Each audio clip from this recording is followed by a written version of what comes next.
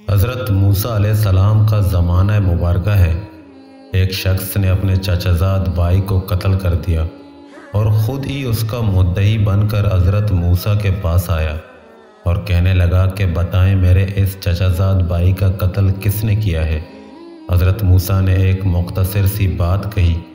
कहने लगा कि अल्लाह तुम्हें हुक्म देता है कि एक गाय ज़बा करो। और उस ज़बा किए हुए गाय का कुछ हिस्सा मकतूल को मारो। तो वो खुद उठ के बता देगा कि मुझे किसने मारा है। चूँकि कातिल वो खुद था, इसलिए वो गाय ज़बा करना नहीं चाह रहा था। कहने लगा, आप मेरे साथ मज़ाक कर रहे हैं। ऐसा कभी हो सकता है कि मुर्दा खुद उठ के बता दे कि मेरा कत्ल इसने किया है? तो हज़रत मूसा सलाम ने फरमाया कि हर वक्त मज़ाक करना जाहिलों का काम है। और मैं अल्लाह की पनाह चाहता हूँ कि मैं जाहिलों में शुमार हो जाऊँ। चूँकि वो गाय ज़बा करना नहीं चाह रहा था, कहने लगा, मूसा ज़रा अपने रब से दुआ करें कि कुल के बताए कि गाय कैसी हो।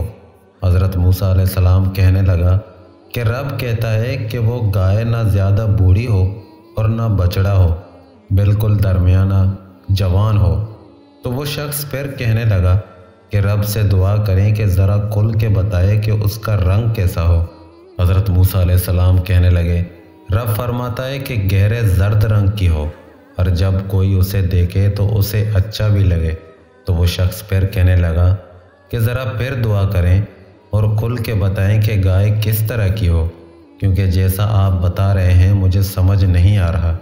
हज़रत मूसा सलाम ने फरमाया कि अल्लाह फरमाते हैं कि गाय ऐसी हो जिसको कभी खेती में ना चलाई हो और ना उससे कोई और काम लिया हो और ना उससे पानी निकाला गया हो, वो हर हैब से पाक होनी चाहिए।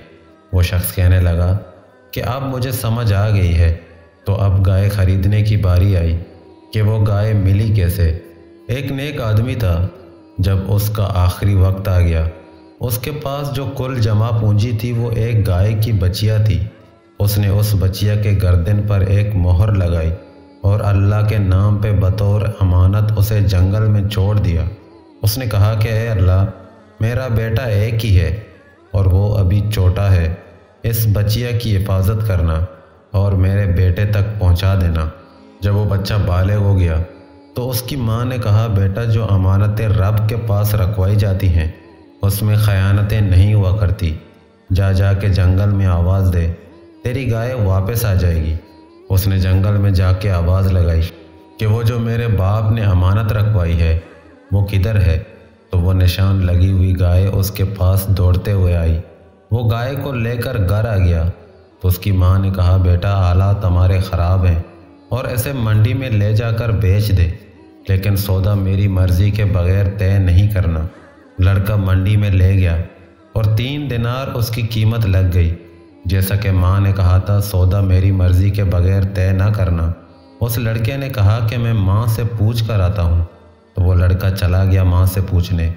तो उसकी माँ ने कहा कि दे दो। वो लड़का वापस आया और कहा, ठीक है, ले जाओ। लेकिन जो ख़रीदार था, उसने कहा, मैं तुम्हें छः दिनार देता हूँ। लेकिन मेरी एक शर्त है कि अपनी माँ से ना पूछना। लड़का कहने लगा, तुम बारह भी दो, लेकिन दूँगा तभी जब अम्मा बोलेगी। लड़का फिर आया माँ के पास। पूछा, अम्मा, अजीब बात है।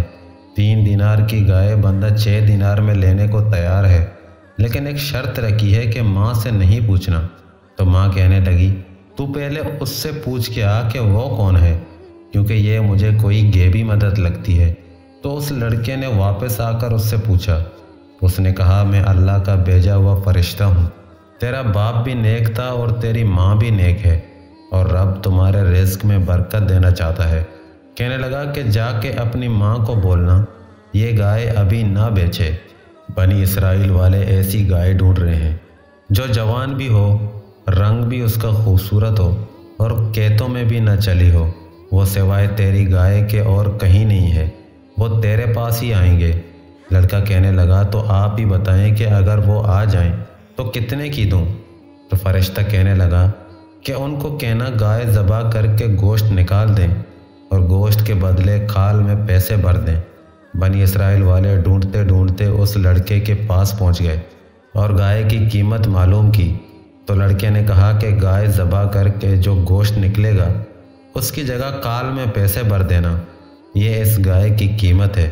तो बनी इसराइल वाले कहने लगे कि गाय तीन दिनार की है, तुम छः दिनार ले लो।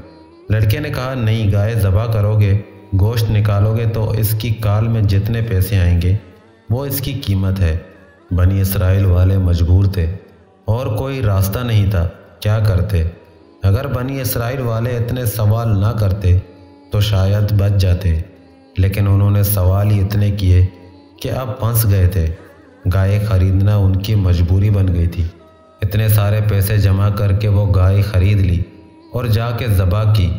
और मकतूल को जब इसका एक हिस्सा मारा तो वो उठ कर कहने लगा कि ये जो मुद्दई बना हुआ है, यही मेरा कातिल है। इसी ने यह सारा काम किया है।